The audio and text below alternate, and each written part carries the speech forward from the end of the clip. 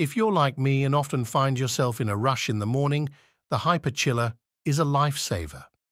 It can chill your coffee in less than 60 seconds, allowing you to enjoy a refreshing iced coffee on the go.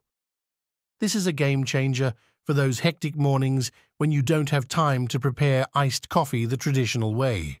The Hyperchiller HC2 is a game changer when it comes to quickly chilling your favorite beverages, and I'm excited to share my thoughts on this fantastic product. Because durable and improved design, quick and hassle-free chilling compatibility with various coffee makers, it's a time-saving and enjoyable way to savor your favorite drinks. Is not just new and improved, it's also stronger and more durable.